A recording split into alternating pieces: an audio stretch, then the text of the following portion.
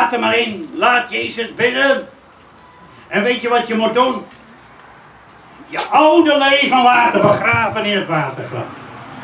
En daarom hebben we vanmiddag hier het watergraf.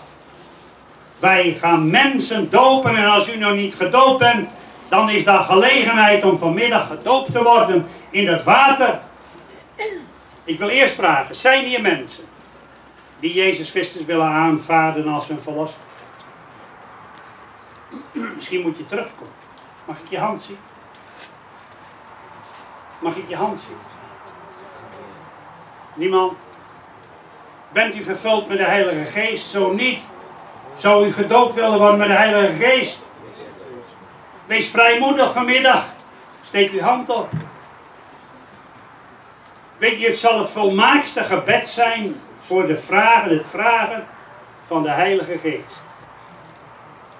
Toen, toen Elia wegging, toen zei hij tegen Elisa, je mag een wens doen. Een wens.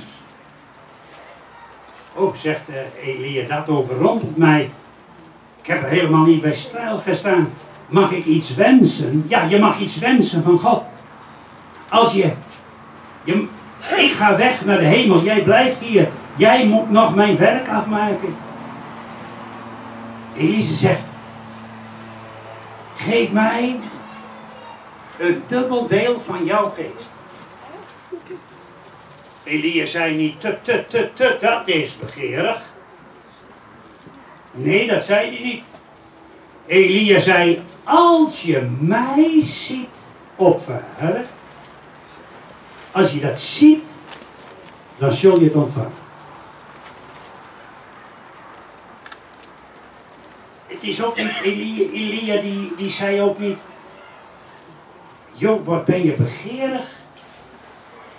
Je bent niet goed opgevoed, twee delen van mijn geest. Wat vraag je veel van God? Dat is, dat is niet goed zo brutaal. Je moet afwachten wat God geeft. Maar laat mij u vanmiddag vertellen. Vrijmoedigheid en begeerig is een deugd in de Bijbel. Als je vrijmoedig tot God komt en vraagt, de Bijbel leert, eis van mij vrijmoedig. Hetgeen wat gij smeekt, zal ik schenken zoals je het vraagt. God geeft het. Wees niet te karig in de dingen om God te vragen.